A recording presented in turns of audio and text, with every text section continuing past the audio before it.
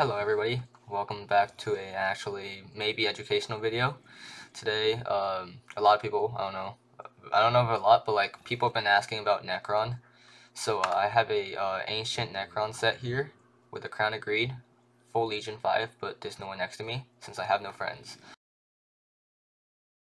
We have a full set of ne uh, Necron, 3 Force Necron actually, and the Crown of Greed, along with a full Tux set generously provided by Akeno. So uh, we're just going to, um, I don't know, test the damage now with a Graveyard Zombie, with a Livid Dagger. Okay, let's go. Backstab. No, front stab. Backstab. Backstab. Wait, what is that? 350k. 350k. 350k.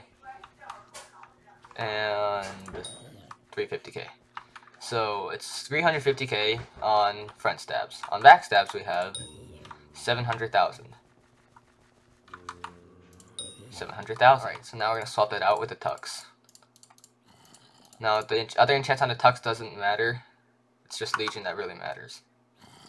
But there's no one next to me, so it should be fine. Front stab. What's? That's a backstab. 920k backstab. 925k. 926k because of freaking combo. 400k. 460k. 463k. 460k with Tux. Elegant Tux is still actually quite a bit better.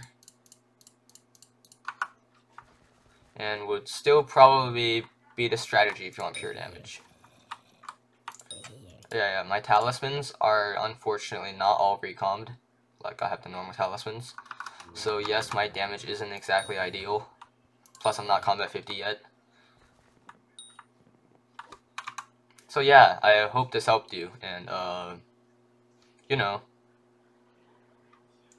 subscribe.